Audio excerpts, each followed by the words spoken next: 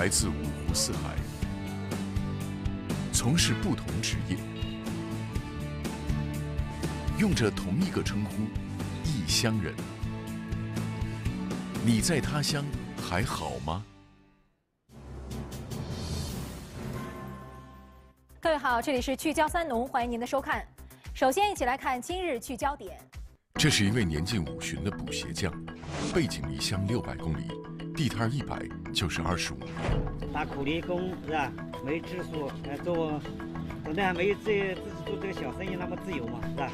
这里的小生意好做吗？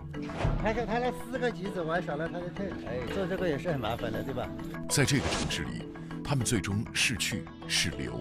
等到自己老了找不到钱了，你在家里穷一点了就回去。早都想回家了。来看本期聚焦三农，这是一位年近五旬的补鞋匠，背井离乡六百公里，地摊一摆就是二十五年。打苦力工是吧？没技术，呃，做，可能还没有自自己做这个小生意那么自由嘛，是吧？这里的小生意好做吗？他说他那四个橘子，我还少了他的腿，哎，做这个也是很麻烦的，对吧？在这个城市里，他们最终是去是留。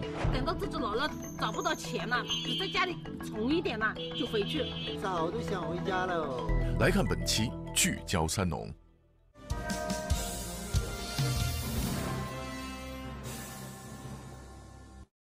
好，欢迎回来。今天我们继续来关注在珠三角打拼的异乡人。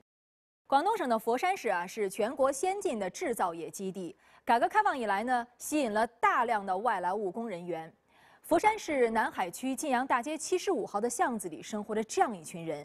他们背井离乡，进城漂泊几十年，离开了工厂车间，离开了建筑工地，那最终选择在这里自己做生意。如今啊，他们几乎主导了整条街的商铺，然而却感觉主导不了自己的命运。今明两天，请您跟着我们的记者一起走进他们的生活。正午时分，在佛山市南海区晋阳大街的路边，炎炎烈日下，今年四十九岁的吴启明正在埋头工作。在这个地方缝一下，然后这个布袋子坏了要缝一下，只有你这个好缝。老吴在这里负责补鞋、缝包、修车等等这些小手艺活儿，老婆在边上抱着孙子，顺便卖点柚子。夫妻俩配合默契，分工明确，一起经营着这块以天为顶的小摊子二十五年了。说那是我们没有技术，也没办法是吧？做份钱也是很辛苦的。打苦力工是吧？没技术，呃，做，等待还没有自自己做这个小生意那么自由嘛，是吧？风风雨雨就是这样，天啊下雨啊天晴啊就都是这样做到这。呃，生意好的话可能补得一百多块钱嘛，啊，生意不好的几十块钱一次。这几年，老吴慢慢感觉到，如今需要缝缝补补的人不比以前了。小时候家里穷，包坏了就修呗，然后现在就花钱买，就这顶坏了就给他补一下呗，是吧？那国家不都提倡节俭吗？咱们一直是响应国家号召。只有这里能修，因为它这个缝纫机的线比较好，然后可以多角度嘛。老吴很欣慰，至少在这里，还有一些人需要他这门手艺。虽然他也不知道自己还能再修几年。现在少一点啦，以前的人我们九十年代来这里十一点、十二点都做过嘞，哪会有这里人多？其实，不仅仅是老吴的补鞋摊儿，整个晋阳街的人流量都不如以前了。在互联网经济飞速发展的今天，实体经济面临高昂的房租和人工成本，却不网络的便捷，大家感到这几年的生意越来越难做了。一家人开这个店，嗯，还开了十几年了。早餐、中餐，要早餐忙一点，中午都现在都没什么人，现在这附近都没什么人了。现在以前会什么样的？以前很很，我听我丈夫说生意很好啊，蒸饭你看那个蒸炉都有几个蒸炉，拿都拿不及，都运到来吃饭都不用选的，直接有有什么就吃什么了。现在还挑来挑去的啊。在这里，钱越来越难挣了。老吴的一些同乡都选择了返乡创业或就业，其实老吴也曾想到过回家种田，直到去年回家的时候，家里一下子发生了两个大事，让他觉得回家种田也不是件容易事儿。现在有有这个水啊，这个都是污水，不能种地。我这个村里面，像我们这个情况，就是这个农坑是占一百六十多亩地。原来，早在2012年，一家大型的养猪企业在老吴家农田灌溉水源的上游建成投产，把未经处理的猪粪水直接排放进了农田灌溉所用水塘，污染了大片的农田。老吴深受其害，去年回老家也就为此事而奔波。就在老吴独自回老家的那段时间里，老婆一个人在佛山也出事了。去年我们住在这里，还小偷过来。什么情况当时？当时我回老家了。到时候我回老家了，我老婆带了我的孩子在这里睡觉。两个年轻的晚上是晚上几点？三点多。晚上三点多，在我家里偷了我一条金项链去，偷了我几千块现金，还偷了我一个手机，在这个房子里面。价值五千多的金项链，一千多元的手机。再加上几千元的现金，对于老吴一家来说是个巨大的损失。如果抛开经济损失不谈，说起那晚的事，罗艳娥始终还在害怕。我晚上嗯补鞋子补到很晚嘛，补到十点多嘛，回来感觉有点累嘛，就随便就倒在床上就睡觉了呗。我老婆吓得那那一一个月在在这经济大战的，很很害怕了。那两个男的走到家里来，肯定一个女的在这，肯定很怕了。拿了一点钱没事，还怕就是怕他意外什么东西啊打伤人呢，就更加麻烦了，就是。从那之后，老吴再也没有独自回过老家了。关于是否回家这件事，两夫妻似乎形成了这样一种默契。等到自己老了找不到钱了，只在家里穷一点了，就回去。如果是在外面能够找一分钱的话，我就不愿意回去，因为我们家里就是种地啊，另外没什么啊，是吧？聊起回家的话题，在街对面卖橘子的梁伟有着不同的看法。早都想回家喽，在这里也是怎么说呢？只能够混口饭吃，钱难挣，挣了都要花在这个地方的又多。你都存不了什么钱，像在家里面的话，虽然说你找的少，但是你花的也少啊，对吧？假如抛开思乡情怀不谈，对于他们来说，在哪里能挣钱不重要，重要的是在哪里能攒钱。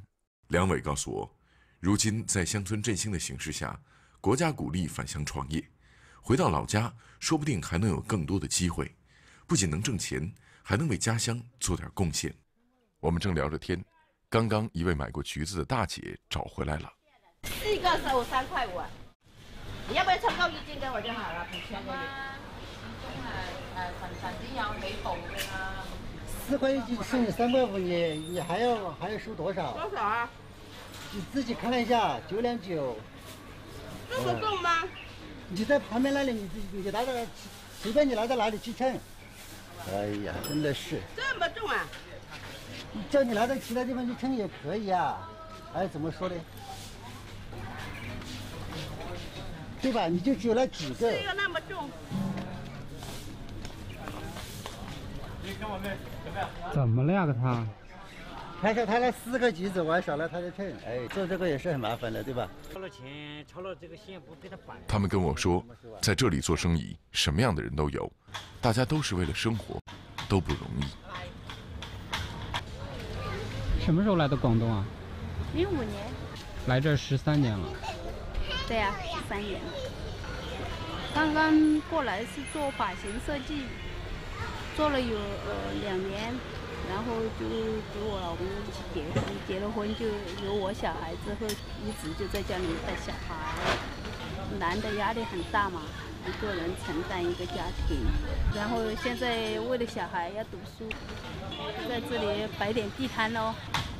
晚上，在老吴修鞋的时候，又来了一位很厉害的大姐。哇，这位老板娘做生意太厉害了。要拉那么多在干嘛？当当了，拿去送人啊？这个不称称啊。这个冷锅的。嗯，多少钱一个？十块。这位大姐一句话没说，当着老吴的面挑挑选选了好半天，选出了三个大柚子，还拿走了好几个塑料袋，钱也没付就离开了。我心想，就这小生意还能赊账的呀？怎么了？刚才他没没付钱是吗？没事，他他在市场里卖做生意的，要我出来称猪肉。柚子换猪肉，听起来很不错，可是老吴告诉我，自己并不想吃猪肉，太贵了。你最喜欢吃什么啊？平时？我们啊，我最喜欢吃的反正就是辣椒第一，白的第一。这放吃什么菜都是要放点辣椒才有口味。我们一般都是吃茄瓜呀、苦瓜呀那些之类的。顿顿都需要有辣椒，不仅仅是因为辣椒有家乡的味道。或许麻辣的感觉刺激神经，也能缓解这一天的疲劳。会不会下馆子吃的？嗯，很少的，我们没有那个能力去馆子里面去吃。偶尔过节什么改善一下伙食会不会去？从来没有过，在在自己在家里搞一下嘛，自己在家里多搞几个菜就可以了，没有去过馆子。别浪费啊！炒到一起了。哎，不是这剩饭，还得搞在一起。炒了吃的。很明显，节约是他们在这里生存的一大法宝。晚饭过后，老吴告诉我，他早上四点半就要出摊儿。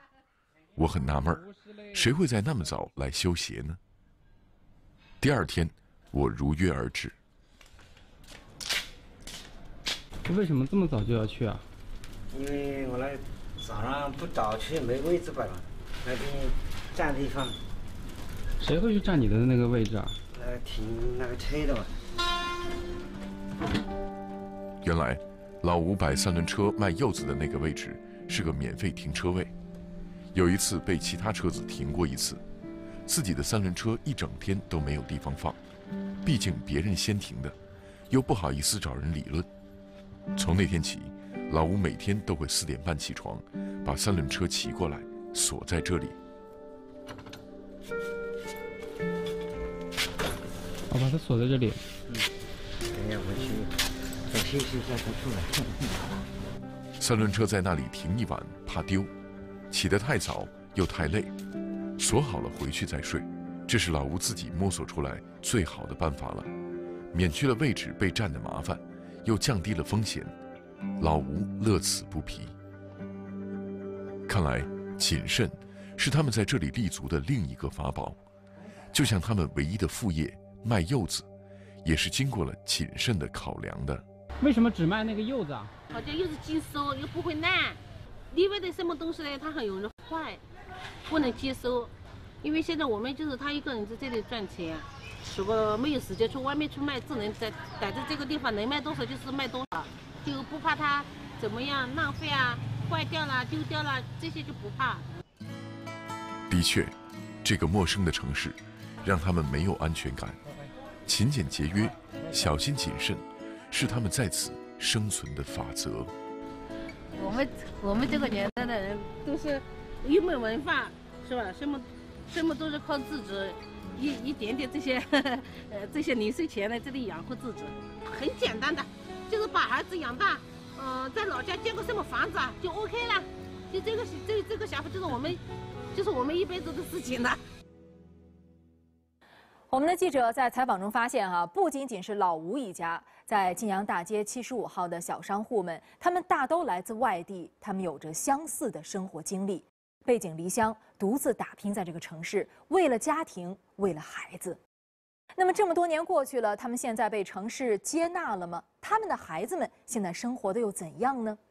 明天同一时间，请您继续收看《珠三角的异乡人》。电信诈骗中招，民警披露行骗三部曲，更多内容稍后播出。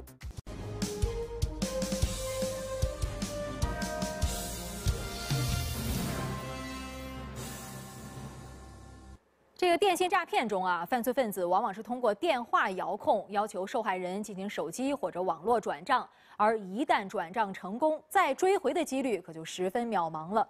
所以说，一旦接到电信诈骗的案件报警，民警往往都是和犯罪分子在时间上进行赛跑。前几天啊，湖北宜昌警方就和诈骗分子来了一场时间赛跑。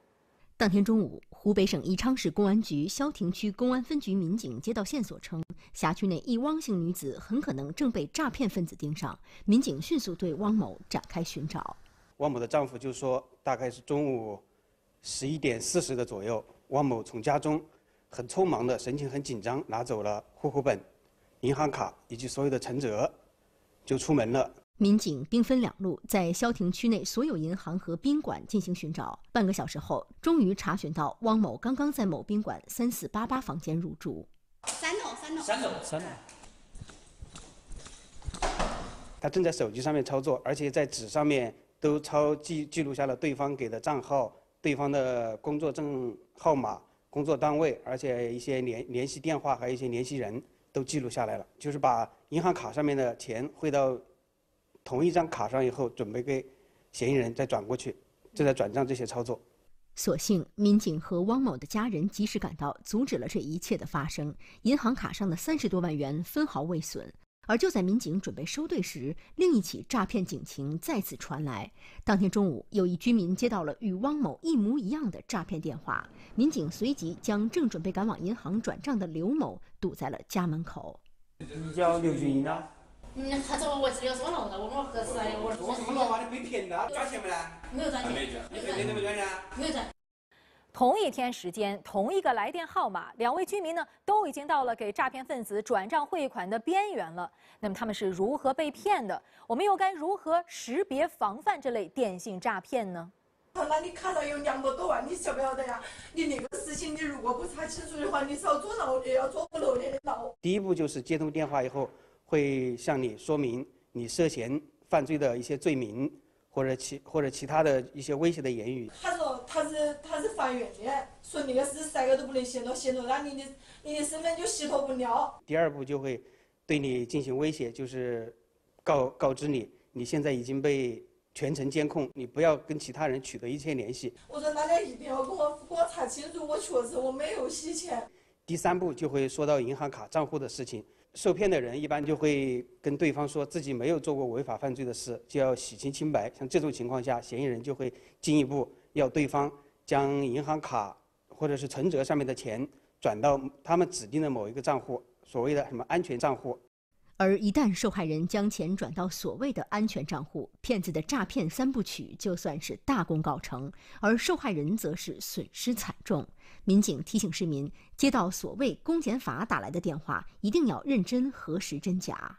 要抓捕某一个人，肯定是直接对对他进行抓捕，不会电话跟他联系。再就是资金冻结、资金查询，我们根本也不会联系嫌疑人呐，或者是某一个人，我们会直接通过我们正常的渠道对他进行查询或者冻结。更不会让他转到说某一个什么安全账户。如果是接到电话，对方跟你提到什么安全账户，这肯定就是诈骗分子。好，我们再来看看其他方面的消息。十一月十九日，农业农村部部长韩长赋主持召开部常务会议，审议并原则通过国家质量兴农战略规划（二零一八到二零二二年），研究部署农产品质量安全工作。会议强调。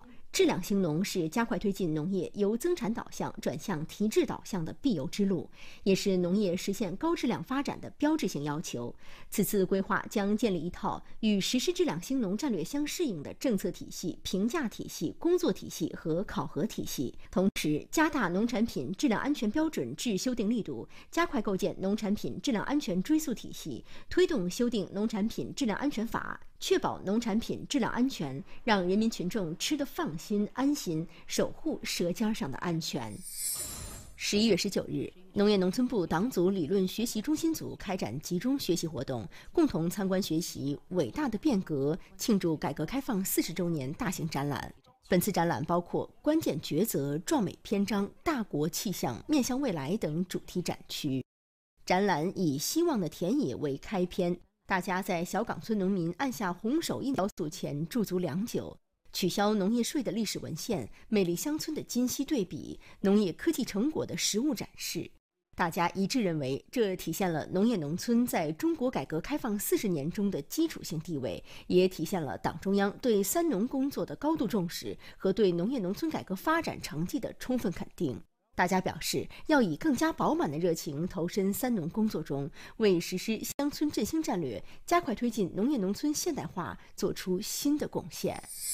日前，中国医药卫生事业发展基金会功能医学专业委员会正式成立。功能医学作为一种全新的医学模式，能有效预防和治疗老年病、慢性病，对于缓解我国因逐渐步入老龄化社会带来的医疗压力，特别是改善农村不良健康旧习、提升广大农民健康状况，具有深远意义。